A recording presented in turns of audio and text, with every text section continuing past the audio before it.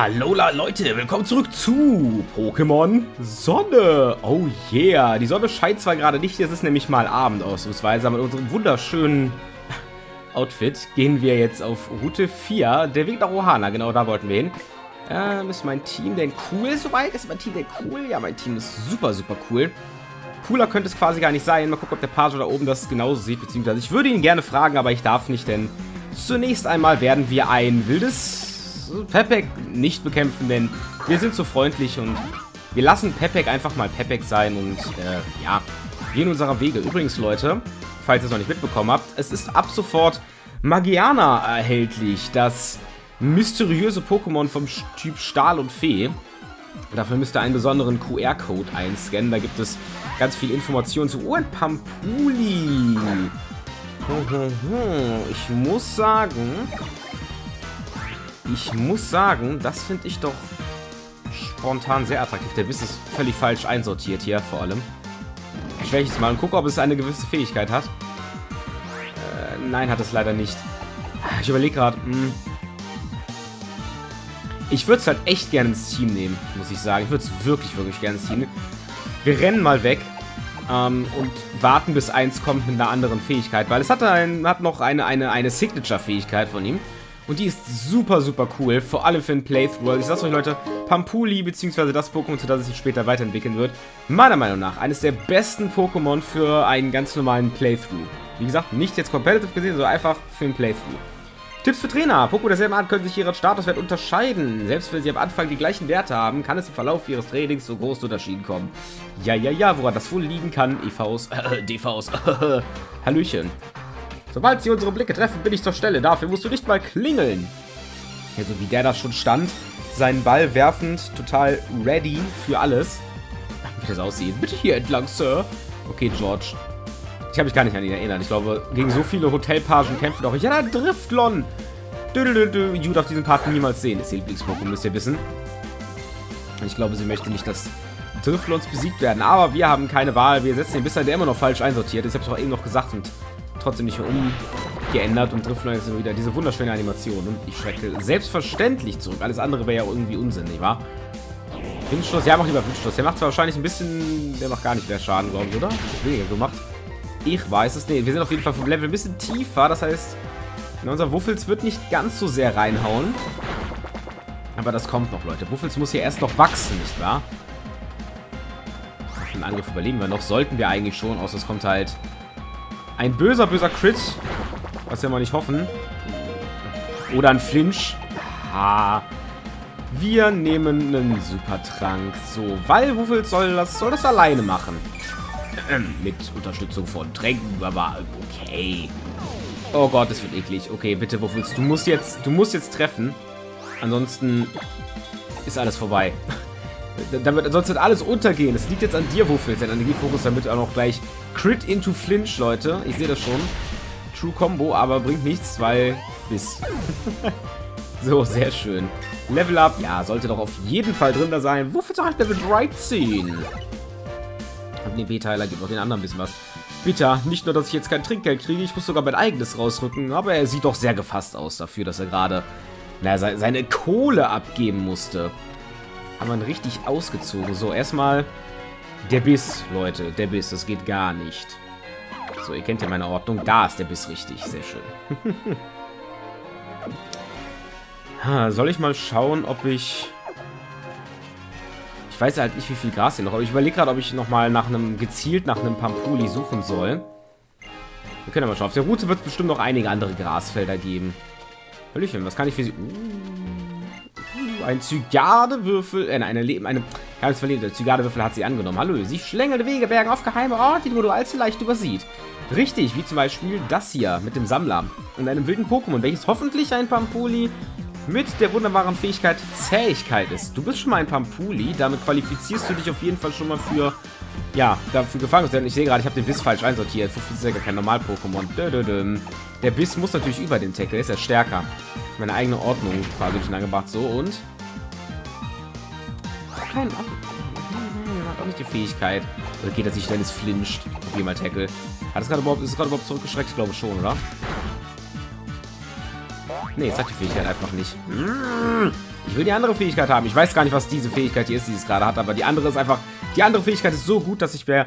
Ich will nicht mal herausfinden, was die andere Fähigkeit ist. Einfach weil die... Die besondere Fähigkeit so viel besser ist.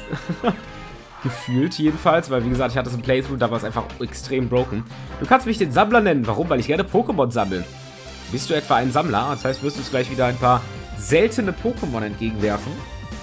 Wie das ja meistens so ist bei Sammlern, nicht wahr? Mit einem Mamfaxo. Ja, das kann man... Das kann man schon als selten sehen. So, aber ich glaube, vom Level her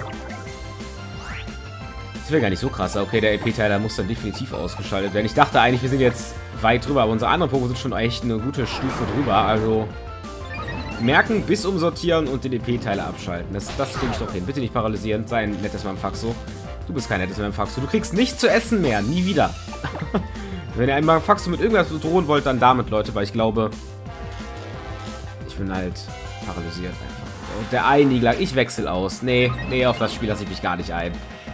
Mann, willst du? ziehst die Hexe aber auch an, ne? Erst hier die ganze Zeit zurückschrecken, jetzt das. Also, Mann, Mann, Mann, Mann. Trompex, so. Wofür zu? Ich gebe mir doch Mühe. Offensichtlich nicht genug. Nein, schon gut, also. Und dann noch Amnesie. Gut, dass ich nicht... Ich wollte zuerst Pichu reinschicken. Gut, dass ich es dann eher doch nicht getan habe. So, Durchbruch. Bam. Sollte trotzdem noch ja, sehr guten Schaden verursachen. Also, heißer Tipp, ne? wenn, wenn du nur deine Defensive erhöhst, dann damit gewinnst du auch keinen Kampf. Du musst auch, äh, hättest du mal Toxino so vorher ausgemacht, na dann, ja, ja, vielleicht. Oder will er mal die kompletten AP ausstallen, die ich noch habe. Das hätte er mal versuchen können. Aber ich bezweifle, dass das so von Erfolg gekrönt sein würde. So, Wommel, ich habe gehört, du magst es, gegen Krabox zu kämpfen. So ganz spontan. Ja, Krabox, was sage ich denn? Gegen Kindwurm.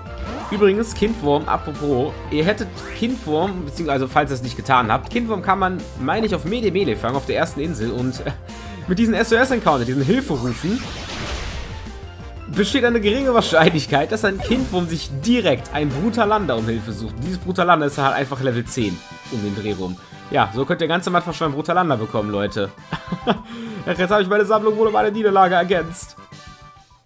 Was doch mal eine ganz nette Sache ist. Vielleicht ein bisschen zu gut so für den Anfang des Spiels, aber naja, ne, nimmt man das mal nicht so genau. Äh, oh Gott, hier sind so viele neue Items. Das kann ich nie sehen, Leute. Ich muss es hier schnell alles neu umsortieren. So. Okay, und den EP-Teiler, den wollte ich ausmachen. So, denn offensichtlich sind wir vom Level gut genug dabei.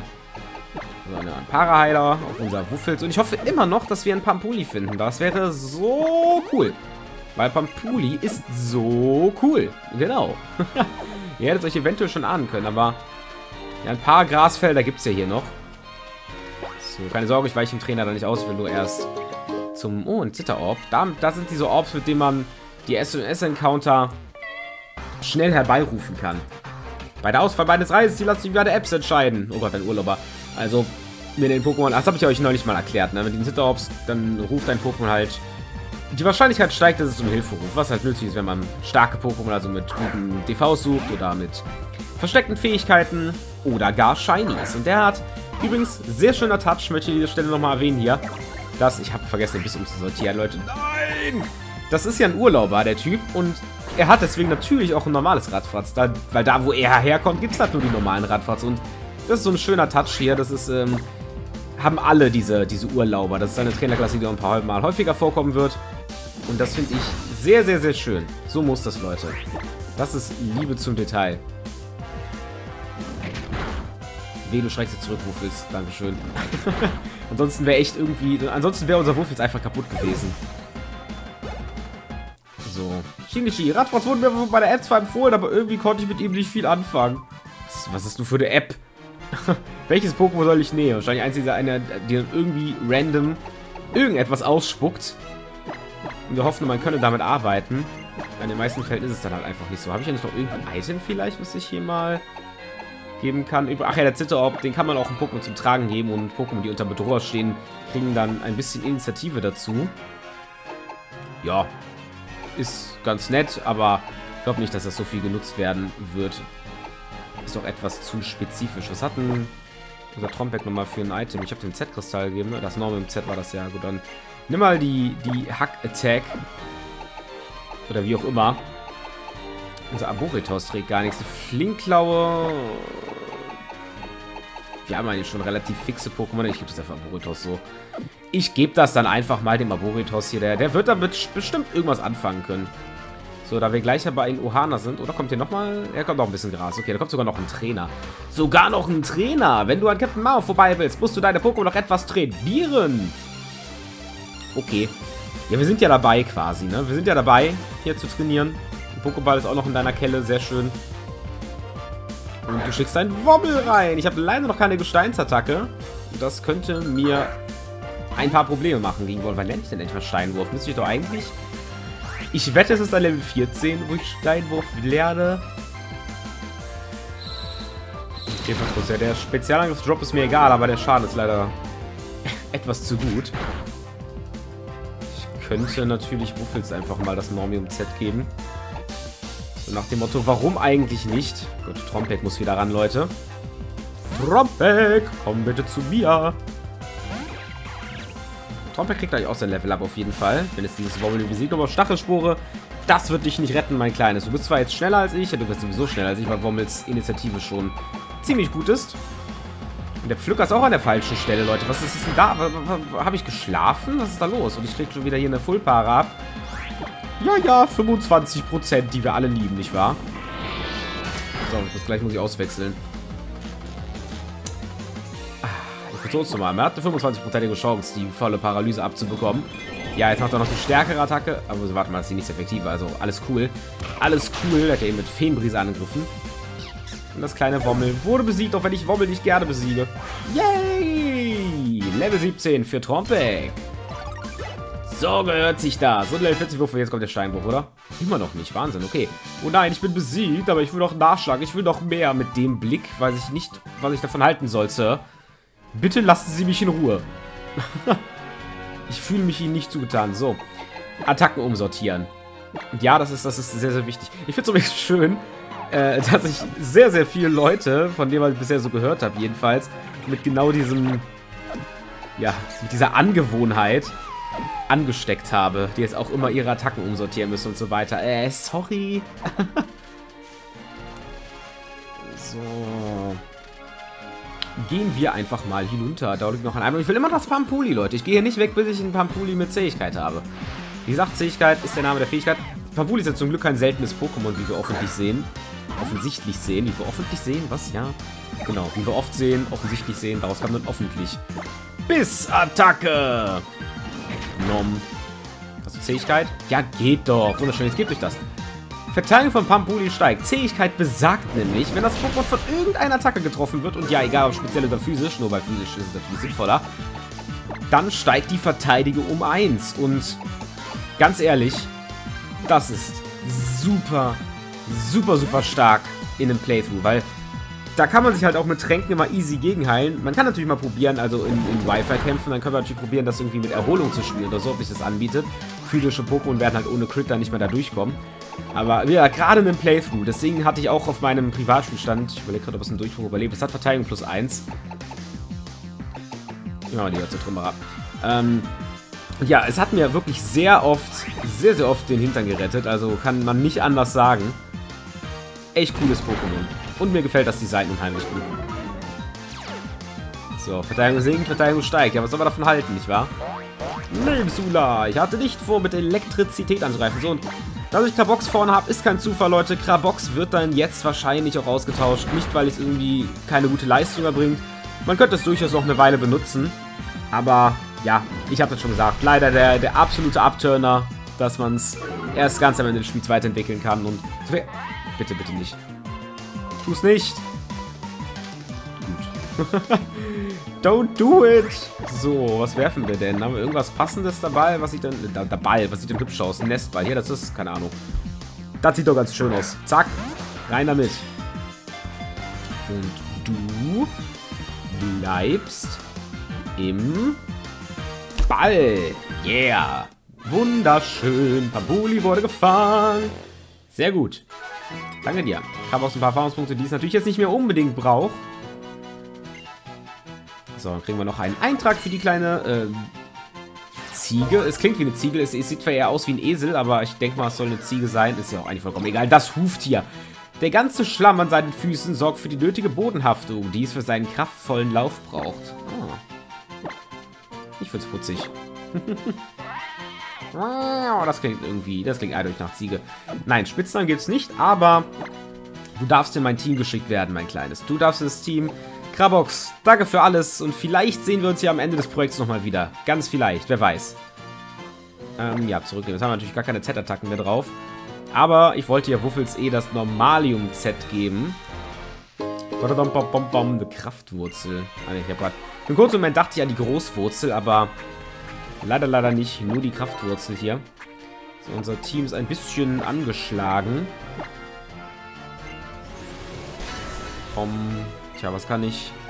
Was kann ich Pampuli geben? Habe ich vielleicht irgendwelche TMs, die die es lernen kann? Akrobatik? Was? Das kann kein Akrobatik lernen? Das, das, das, das kann ich ja jetzt gar nicht glauben. So. Wir werden auf jeden Fall noch einem wilden Pokémon begegnen. Das ist auch genau das, was ich sagen wollte. wir werden noch einen Kampf bestreiten. Aber dafür müssen wir erstmal ja noch ein paar Schritte laufen. Und ich meine in Erinnerung zu haben, dass ich netterweise nochmal geheilt werde. Das heißt also, ich spare mir das jetzt. Und am Ende werde ich ja nicht geheilt. Pass auf, ich sehe schon kommen. Na, aber nein, ich sollte da nochmal... Ach, sehr schön. Hier. Nehmen die Bären. Ähm, das Pokémon... Ah, ich muss es aber besiegen. Fällt mir gerade auf, wenn ich die Bären haben will, oder? Ja, stimmt doch. Ich muss es besiegen. Ich bin schon mal davor geflohen und dann kam dann nämlich einfach wieder die gleiche Message, dass das Pokémon noch da ist. Okay, dann schicke ich erstmal schnell etwas rein, was auf jeden Fall Erfolg im Kampf haben wird. Safe, nämlich Wommel. Wommel, Wommel, Wommel! Diebeskuss, auch so eine coole Fähigkeit, äh, so eine coole Attacke hier, so im, im, für ein Playthrough. Vor allem, weil man auch noch relativ bald die, die, die Großwurzel eben findet. Deswegen dachte ich eben, das wäre sie jetzt schon gewesen. Aber leider nicht, leider nicht. Da Diebeskuss heilt jetzt sowieso schon mehr als, als quasi Fähigkeit der Attacke. Und dann noch mit einer Großwurzel hat Wommel tatsächlich eine sehr zuverlässige Art, sich selbst wieder zu regenerieren. Und Level Up ist auch mit dabei. Unsere Wommel wird groß. Schön. Wuffels leider noch kein Level Up. Aber schauen wir mal. Yeah, eine Gaufbeere. Yeah, eine Magobeere. Yeah, eine Japabeere.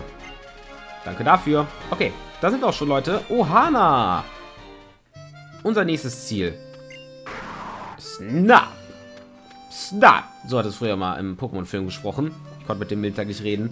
Denied einfach. Hey Chris, lass uns rausfinden, wer von uns der Stärkere ist. Immerhin habe ich auch die große Prüfung bestanden, mir einen Z-Ringer kämpft. So wie hier, äh, so wie es hier in Ohana aussieht, kommt man sich vor, als würde man einem Duell in einem Western austragen. Voll cool und aufregend. Wir wollen natürlich einen fairen Kampf, also lass mich eben deine Pokémon wieder fit machen. Ach, wusste ich doch.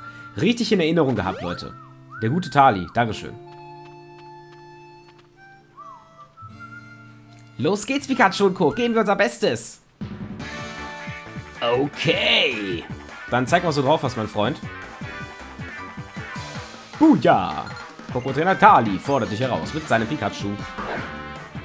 So, ich glaube, wie gesagt, nicht, dass ich mit Wuffels hier viel reißen werde. Da das Pikachu vom Level her... Ja, wobei, ich kann es ja mal probieren. Ich kann mal den Z-Move einfach machen. Los, den Z-Hyper-Sprintangriff. Ruckzucki. Guck mal, das traut sich mal anzugreifen. Weil, ich meine, wir haben hier quasi das Paradebeispiel bei unserem Pichu. Das Pikachu halt eben nicht viel aus. Ja gut, Peach hält nicht viel aus. Aber Pikachu hält auch nicht viel aus. Ja, nicht mal Raichu hält viel aus. Also halten die zwei erst recht nicht viel aus. Dann passt das schon. So, der Hyper-Spritangriff. Er kommt und mal gucken, wie viel Schaden macht. Ich hoffe irgendwie, dass wir schon über die Hälfte abziehen. Das wäre sehr, sehr angenehm. Dann kann Wuffels das nämlich vielleicht... War nicht die Hälfte. Wir greifen einfach mal weiter. Wir werden ja sehen, wie viel sein Elektroangriff, den er aus irgendwelchen Gründen nicht benutzen möchte. Also ich habe ein bisschen Angst vor der Statik. So, ein bisschen noch würde ausreichen. Oh, ja, Elektroball. Ich dachte, er hat nur Donnerschock. Das... Puh, Wuffels. Wuffels, Leute. Er hat... Er wollte alles wieder gut machen. Die ganzen, die ganzen Hacks, die er abbekommen hat hier am Anfang des Parts. Das, hat, das ist auf jeden Fall gelungen. So, kriege ich jetzt mal bitte den Steinwurf. Endlich, meine Güte. So, ähm, Sandwirbel werde ich niemals einsetzen wahrscheinlich. Also passt das. So, du wirst jetzt dein, dein Marikek einsetzen, genau. Ah, ich könnte Pichu benutzen, aber... Aus Gründen werde ich das nicht tun. Ich werde Pichu mal kurz reinschicken, damit es ein bisschen Erfahrungspunkte bekommt, aber... Naja, sagen wir so, wir sind nicht die Einzigen, die Z-Angriff benutzen können. Ich weiß zwar nicht, ob er auf seinem Marikek das ebenfalls tut. Aber ich habe halt Angst, dass Pichu besiegt wird. Was soll ich mal? Ich, komm, ich probiere es mal. Er macht... Das macht einfach gar nichts. Okay, Pichu. Genau, das meine ich halt. Da kommt jetzt der... Was ist der... Ja, Hypersprintergriff. Wie sieht das bei Marikek bitte aus? Wie kann denn eine Robbe sprinten? Das müsste man nicht... Das, das sind die Fragen, die man sich immer stellen muss. Sieht. Das, das sieht einfach aus, als würde mir ein High Five geben wollen. High Five! Und Pichu wieder... Wir werden einfach niemals ein Pikachu bekommen, weil Pichu... Immer wenn ich Pichu einsetze, es stirbt einfach direkt. Es wird sofort besiegt. Es ist furchtbar. oh Mann. Ähm, ich denke, ich belebe Pichu jetzt auch mal wieder. Wie gesagt, ein Level-Up bringt ja auch gute Freundschaftspunkte. Problem ist halt, wenn ein Pokémon besiegt wird, verliert es auch einige Freundschaftspunkte wieder. Und das können wir da leider nicht wirklich verhindern. So, Wommel. Mal gucken, wie viele mit Diebeskuss machst. Wahrscheinlich nicht viel. Und Marikek hält schon einiges aus. Oh, aber das war, das war okay. Kommt ja jetzt ein bisschen darauf an, wie viel er unserem Wommel Schaden zufügt, aber glaube, auf lange Sicht sollten wir dieses Matchup gewinnen. Ich könnte vor allen Dingen... Macht Wasserdüse. Mm, das tat bis zu sehr weh, nach meinem Geschmack. Vor allem, ich wollte gerade sagen, ich könnte zu Käfertrutz übergehen. Um da halt ein bisschen seine Werte zu senken. Ich glaube, eine Wasserdüse sollte ich noch überleben.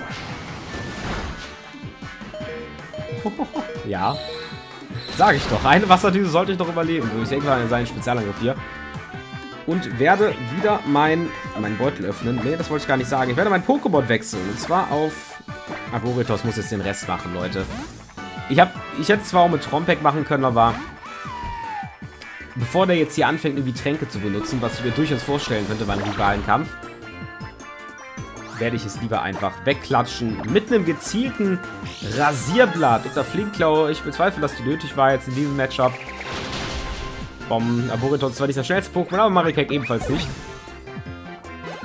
Oh, das sind, das sind gute Erfahrungspunkte. Peach erreicht ein Level-Up, hey. Hätte sich wahrscheinlich jetzt entwickelt, wenn es nicht besiegt worden wäre. Hey, sag mal, wie bist du auf diese Taktik gekommen? Naja, ich habe einfach gemacht. Ich habe getan, was ich spürte, tief im Innern. Das war ein guter Kampf. Meine Pokémon hatten auch Spaß und darauf kommt es schließlich an. Hey Chris, das ist für dich.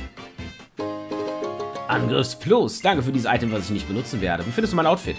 Äh, das Herrscher-Pokémon hat eine ziemlich widerstandsfähige Aura, stimmt's? Wieso antwortest du mir nicht? Bei anderen Herrscher-Pokémon ist das bestimmt auch so. Aber mit einem Angriffs Plus erzielen die Attacken einen po äh, deiner Pokémon mehr Volltreffer. Dann spielt die Aura keine große Rolle mehr. Ja, das stimmt, weil dadurch werden ja Buffs der Verteidigung ignoriert. Manche Pokémon-Kämpfe gewinnt man und manche verliert man. Schlimm ist nur, wenn man keinen Spaß dabei hat. Also dann, bis später. Ich gehe mir die Ohana-Farm anschauen. Hau rein, Tali. Okay, Leute, ich würde aber sagen, wir... Hat er mein Team nochmal geheilt? Gut. Der Tali, das, das macht er wenigstens immer, das ist ganz nett. wir beenden den Part hier, Leute, und beim nächsten Mal geht es dann weiter. Bis dahin, ciao.